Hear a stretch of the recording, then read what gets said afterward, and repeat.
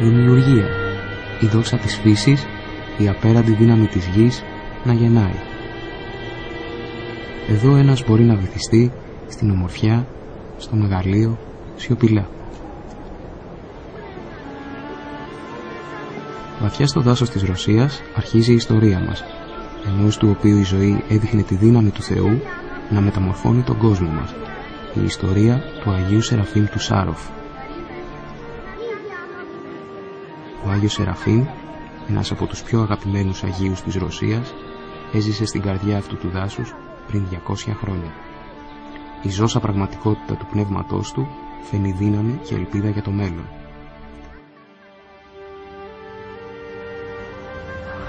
Αλλά αυτή η αναγέννηση μας έρχεται μέσω του πόνου και του βασάνου του παρελθόντος της Ρωσίας. Στην περιοχή του Σάροφ, 400 χιλιόμετρα νοτιοανατολικά της Μόσχας, ήρθε ο Άγιος Σεραφείμ το 1778 επιδιώκοντας να αφιερωθεί στο Θεό. Αλλά τώρα υπάρχει μια διαφορετική όψη στην περιοχή. Μετά έναν αιώνα και μετά το θάνατο του Αγίου Σεραφείμ, το μοναστήρι και η γύρω περιοχή έκλεισαν. Το 1946, σε αυτό το μυστικό χώρο, ο Στάλιν διέταξε τη δημιουργία του ισχυρότερου όπλου καταστροφής τότε γνωστό στον κόσμο. Το μέσον να εξαφανίσει από το πρόσωπο της γης όλη την ανθρωπότητα, να καταστρέψει όλη τη δημιουργία. Η ατομική βόμβα.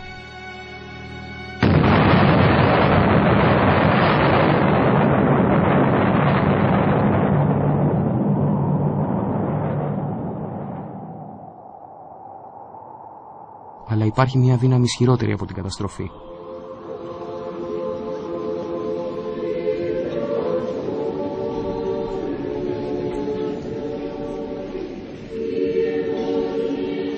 Αλέξη Φεντόροφ, ένας φυσικός που εργάζεται στις εκρητικές ύλες και στην τεχνολογία λέιζερ στο πυρηνικό ερευνητικό ίδρυμα στο Σάροφ, έχει έρθει να γιορτάσει Πάσχα στο καθεδρικό ναό με τους δύο του γιους.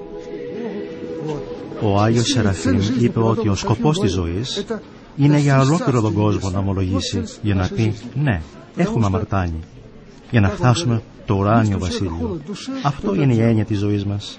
Επειδή, όπως είπε ο Άγιος Σεραφείμ, εάν η ψυχή ενός ανθρώπου είναι κρύα, είναι από το διάβολο. Ο Θεός είναι φωτιά. Όταν έγινε χριστιανός, είδα τη ζωή χρωματιστά. Πριν από αυτό, η ζωή ήταν είτε μαύρη είτε άσπρη. Η δουλειά έδινε πολλά στον εγκεφαλό μου, αλλά όχι στην καρδιά μου. Εάν οι ψυχές μας θερμαίνονται από αγάπη, τότε δεν θα υπάρχουν πόλεμοι και μάχες. Θα υπάρχει ειρήνη και ευτυχία μεταξύ ανθρώπων. Ο Άγιος Σεραφείμ έλεγε Απόκτησε την εσωτερική ειρήνη και χιλιάδες θα βρουν κοντά σου τη σωτηρία. Γεννήθηκε το 1759 στο Κούρσκ σε οικογένεια εμπόρων στο νότο της Ρωσίας και οι γονείς του τον ονόμασαν Προκόρ. Σε ηλικία 19 ετών, η χειρευάμενη μητέρα του του έδωσε την ευλογία της να πάει στο μοναστήρι στο Σάροφ. Στο μοναχικό όρκο πάνω έλαβε το όνομα Σεραφείμ, το οποίο σημαίνει «αναμένη φλόγα». Ανακάλυπτε την εσωτερική φλόγα του Θεού, που έκαιγε στην ανθρώπινη καρδιά.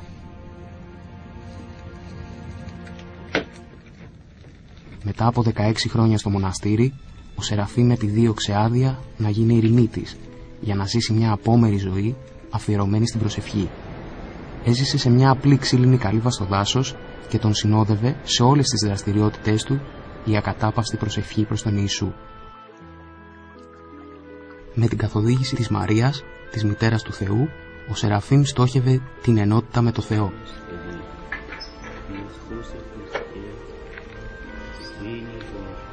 Μπαίνοντας βαθύτερα στη σιωπή, μπήκε στην παρέα των πλασμάτων του Θεού. Σαν κι αυτά, πρόσφερε δοξολογία χωρίς λόγια. Το ίδιο το δάσος άρχιζε να τον καλοβλέπει. Όμως οι προσευχές του ξύπνησαν τις δυνάμεις του κακού. Μια άγρια αρκούδα ήρθε στην καλύβα του να τον τρομοκρατήσει, αλλά ο Σεραφείμ έβαλε τους φόβους του στην άκρη και η αρκούδα έγινε στενός του σύντροφος, μοιράζοντας το καθημερινό του ψωμί. Προσευχήθηκε σε ένα βράχο για χίλιες μέρες και νύχτες, κατακτώντας όλους αυτούς τους πειρασμούς, το όνομα του Ιησού, η συνεχή του προσευχή έγινε η κατεύθυνση της ψυχής του. Σε αυτό το πέτρινο ιερό η σάρκα του μεταγγίστηκε με πνεύμα, το σώμα του με φως.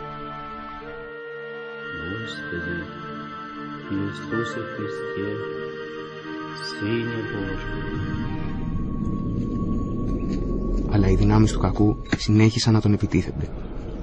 Μια μέρα πήραν ακόμη και ανθρώπινη μορφή. Τρεις ληστές ήρθαν ψάχνοντας για χρήματα. Παρά τη σωματική του δύναμη, ήρεμα άφησε κάτω το τσεκούρι του και είπε «Κάντε αυτό που πρέπει να κάνετε».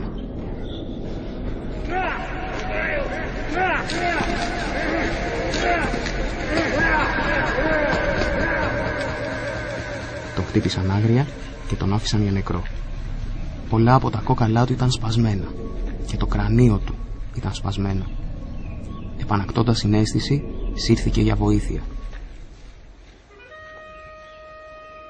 Μετά από ένα όραμα της Μαρίας, το σπασμένο σώμα του άρχισε να θεραπεύεται. Οι ληστές κλήθηκαν για να αντιμετωπίσουν τη δικαιοσύνη, αλλά ήρθαν στο Σεραφείμ και τους συγχώρησε, σωζοντάς τους από τιμωρία και προστατεύοντας τις οικογένειές τους. Καμπούρης τώρα, ανάπηρος για όλη του τη ζωή, φόρεσε ένα βαρύ σταυρό από σίδερο, σημάδι του βασάνου του Θεού μαζί μας, για μας. Συνέχισε να ζει στην ερημιά, σε πλήρη σιωπή, για δέκα ακόμα χρόνια.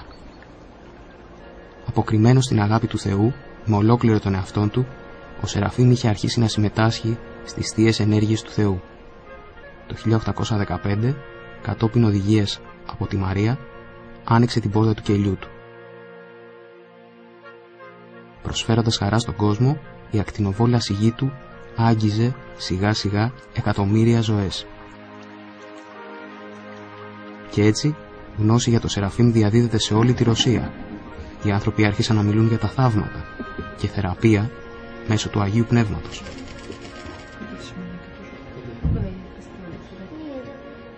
Σήμερα, προσκυνητές από όλο τον κόσμο ταξιδεύουν εδώ να θεραπευτούν στην Αγία Πηγή του Σεραφείμ.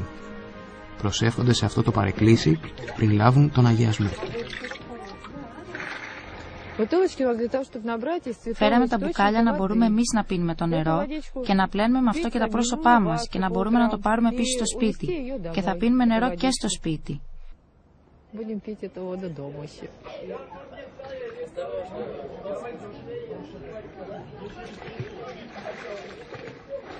Για πολλά χρόνια οι άνθρωποι έχουν θεραπευτεί εδώ. Έρχονται με όλες τις ασθένειες, και πνευματικές και φυσικές.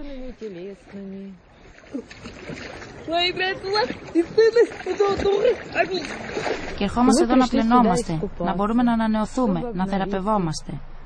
Έλα, πρέπει να κολυμπήσεις. Είναι καυτό, ειλικρινά. Αυτό πραγματικά καίει. Πολύ καλό. Είναι δύσκολο να εκφραστείς με λέξεις. Πρέπει να το δοκιμάσεις εσύ ίδια. Έλα, πρέπει να κολυμπήσεις.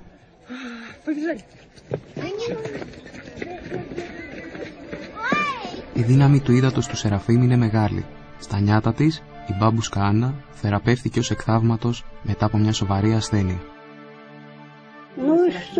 Είχα ένα όνειρο και υπήρχε μια πηγή στα όνειρά μου. και ο Άγιος Σεραφείμ είπε πάρε λίγο νερό, θα σε βοηθήσει.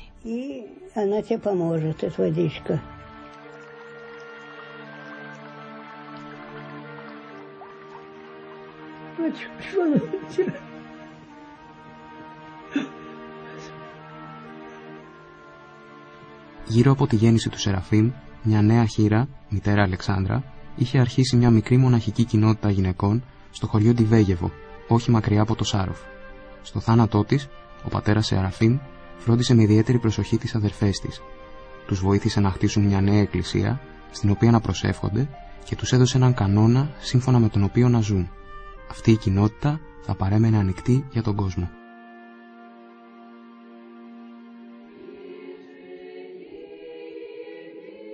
Σήμερα στον Τιβέγεβο, οι αδερφές συνεχίζουν να κρατούν τις παραδόσεις που ο πατέρας Σεραφείμ τους είχε δώσει. Παραδόσεις για να τους οδηγήσουν στην πνευματική ελευθερία μέσω της υπακοής και της προσευχής.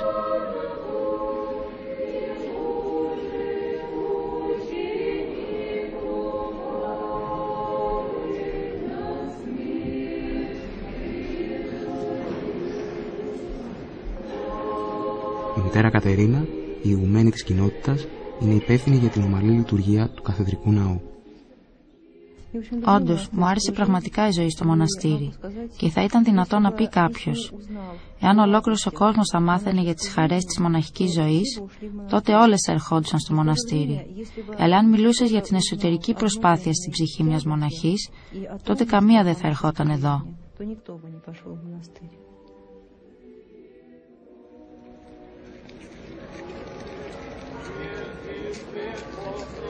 Ο Άγιος Σεραφείμ έλεγε Ευτυχής είναι κάποιος που περνά μία μέρα ολόκληρη από το πρωί μέχρι το βράδυ στον διέβεβο διότι η μητέρα του Θεού επισκέπτεται τον διέβεβο κάθε μέρα.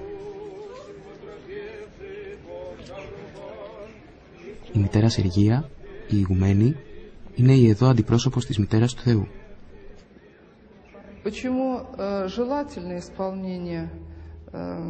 Είναι σημαντικό να ακολουθούμε τον κανόνα του Αγίου Σεραφείμ, διότι του δόθηκε από την ίδια τη Μητέρα του Θεού.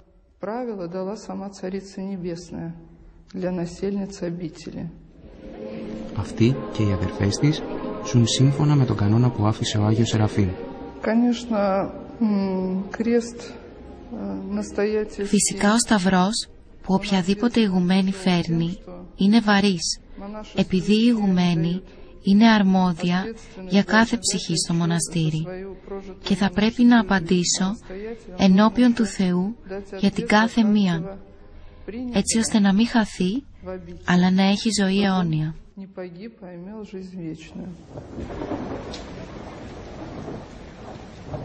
Σύμφωνα με τον κανόνα του Αγίου Σεραφείμ, η σωματική εργασία και η ανάγνωση των γραφών συμβάλλουν στην κράτηση ενός καθαρού μυαλού και σώματος. Γι' αυτόν η υπακοή και η ταπεινότητα είναι η βάση της πνευματικής αύξησης. Μια νύχτα, ο πατέρας Σεραφείμ εμφανίστηκε σε αδελφές που έσκαβαν ένα χαντάκι. Με οδηγίες της μητέρας του Θεού είχε σχεδιάσει ένα μονοπάτι, το Κανάβκα, που περιβάλλει το έδαφος τους.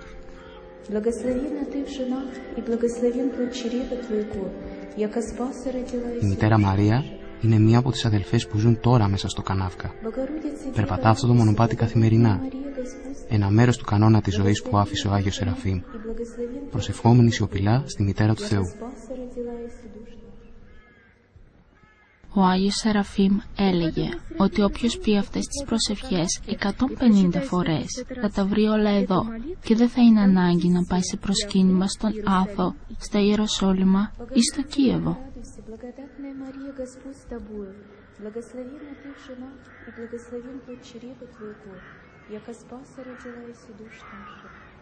Ο Άγιος Σεραφείμ είχε επίσης αφήσει τρεις σημαντικούς νόμους να τηρήσει η κοινότητα. Ο πρώτος νόμος είναι για τις αδελφές να προσεύχονται συνεχώς μπροστά από μια εικόνα της Μητέρας του Θεού. Μια από τις αδελφές θα προσεύχεται όλο το 24ωρο. Θα βλέπει προς το καντήλι που πρέπει να είναι αναμένο 24 ώρες την ημέρα. Ένα κερί παραμένει αναμένο μπροστά από μια εικόνα του Χριστού 24 ώρες την ημέρα.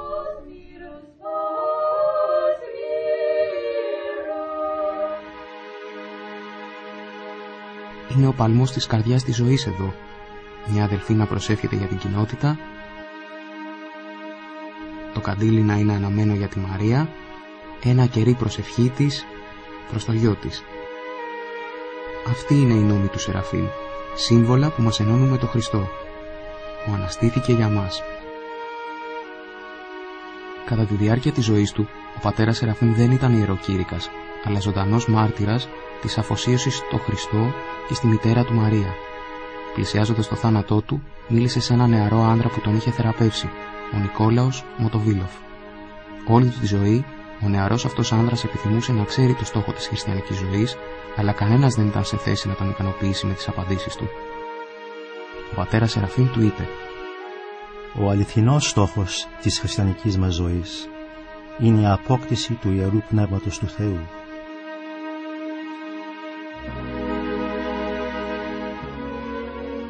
Καθώς που μιλούσε, το πρόσωπό του έγινε πιο φωτεινό και από τον εκτυφλωτικό ήλιο.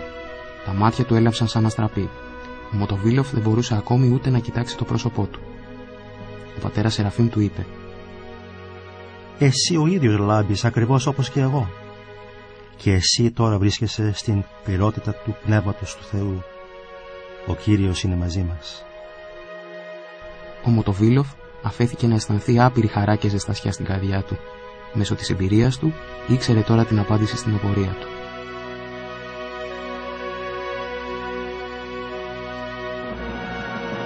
Γρήγορα μετά από αυτό, ο Σεραφείμ πέθανε, αλλά οι καρποί του πνευματικού του αγώνα παρέμειναν.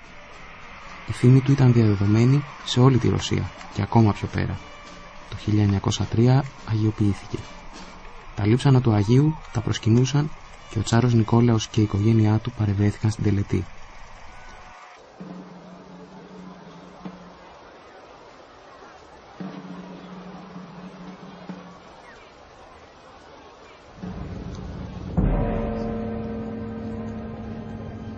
Αλλά οι δυνάμεις του σκότους ήταν έτοιμες να χτυπήσουν πάλι. Το 1917 η Μπολσεβικική Επανάσταση οδήγησε σε μια επίθεση εναντίον όλου αυτού που ο Άγιος Σεραφείμ συμβόλιζε. Τα λείψανα του Αγίου Σεραφείμ κλάπηκαν. Το 1927 και τα δύο μοναστήρια του Σάροφ και του Τιβέγεβο έκλεισαν. Οι κανόνες του Αγίου Σεραφείμ είχαν διακοπεί και τα φώτα της εκκλησίας έσβησαν. Οι μοναχές πάρθηκαν μαζί βασανισμένες και σύντομα μετά τις έβαλαν σε μια βάρκα που βυθίστηκε. Από τις 1200 αδελφές, πολλές οδηγήθηκαν σε φορτηγά και κανείς δεν τις ξαναείδε ποτέ.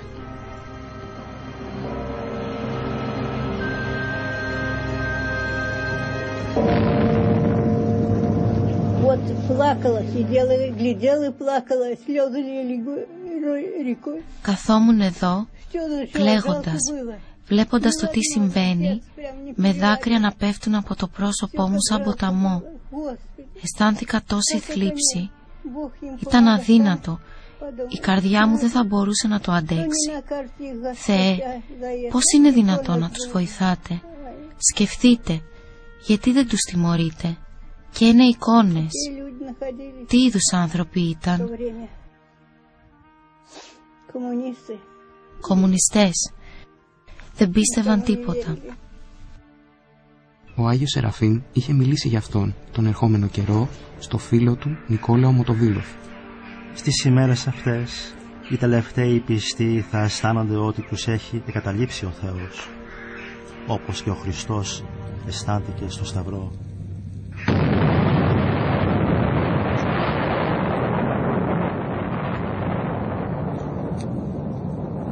Η χριστιανική δίωξη δεν είχε δηλωθεί ποτέ σε τέτοια κλίμακα. Και το φως εν τη σκοτία φαίνει και η σκοτία αυτό ου κατέλαβεν. Το 1947 το ίδιο το Σάροφ έγινε κλειστή πόλη.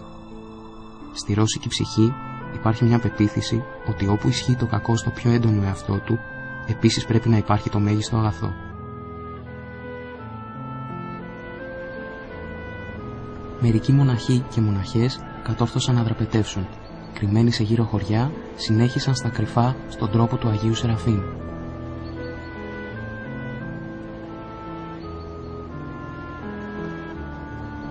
Οι πιστοί της κλειστής πόλης του Σάροφ τώρα ελάτρευαν τη δημιουργία στο άδειτο του Θεού. Το δάσος, όπου και είχε κατοικήσει και είχε κτυπηθεί ο Άγιος Σεραφείμ, τώρα είχε γίνει η πράσινη εκκλησία. Το μοναστήρι στον κόσμο τώρα άρχιζε.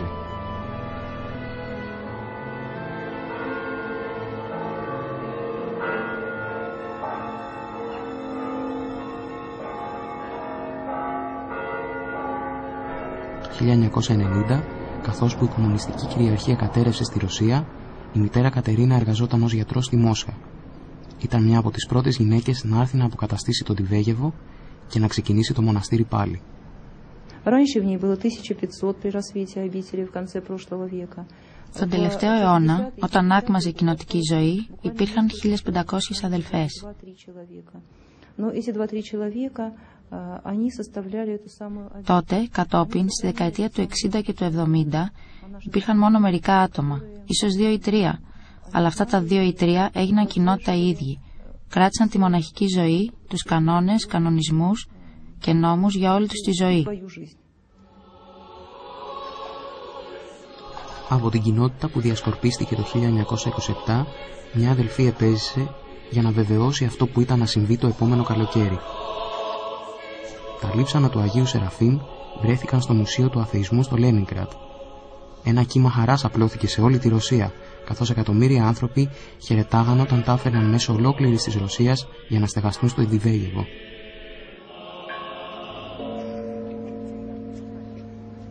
Είπε ο Άγιος Σεραφείμ Ελάτε στον τάφο μου με τις θλίψεις σας και θυμηθείτε ότι αγγίζει το Άγιο Πνεύμα είναι γεμάτο χαρά.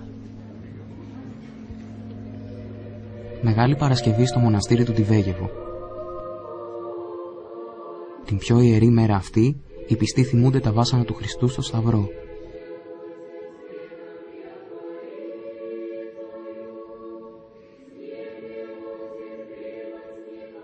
Όπως ήξερε ο Σεραφείμ, εκεί είναι ο Θεός, όταν πιο πολύ τον χρειαζόμαστε, μοιράζοντας το ανθρώπινό μας βάσανο, φαίνοντάς μας μαζί Του με νέο τρόπο.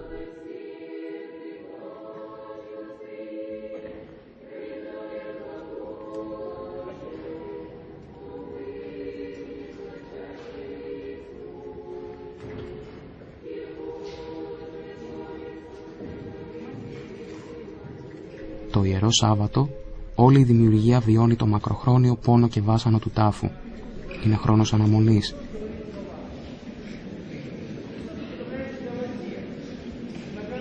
Σιωπής.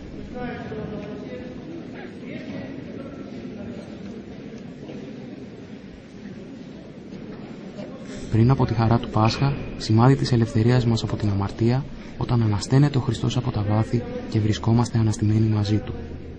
Ο Άγιος Σεραφείμ καλωσόριζε όλους με τον πασχαλινό χαιρετισμό «Η χαρά μου, Χριστός Ανέστη». Χριστός воскресе!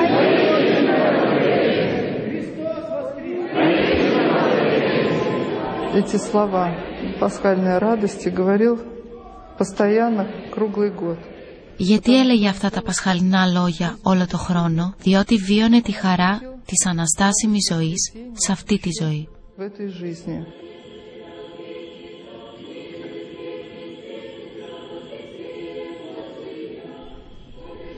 Πνεύμα του Αγίου Σεραφείμ, ολοζώντανο στον Τιβέγεβο και την επανεγκατάσταση των νόμων του, βρίσκεται πάνω από μια πνευματική αναγέννηση στη Νέα Ρωσία και μέσω της Ρωσίας για όλο τον κόσμο.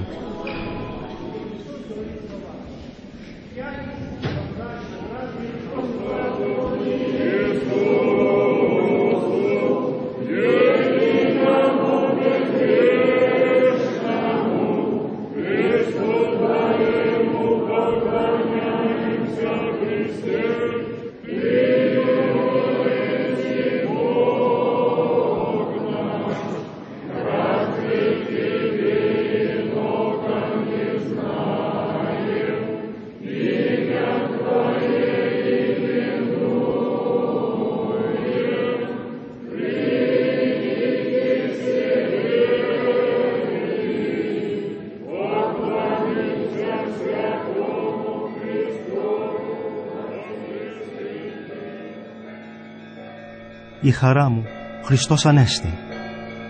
Μιλήστε μου όπως και μιλάτε στους ζωντανούς.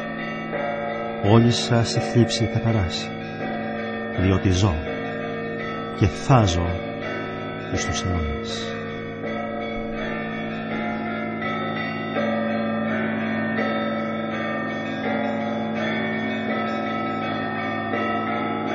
Ο Άγιος Σεραφείμ μιλούσε για το πως ένα αναμένο κερί ανάβει άλλα κεριά χωρίς να χάνει το δικό του φως. Οι κοσμικοί πλούτοι, έλεγε, όταν διανέμονται, μικραίνουν. Αλλά οι θεϊκοί πλούτοι, όταν μοιράζονται, αυξάνουν.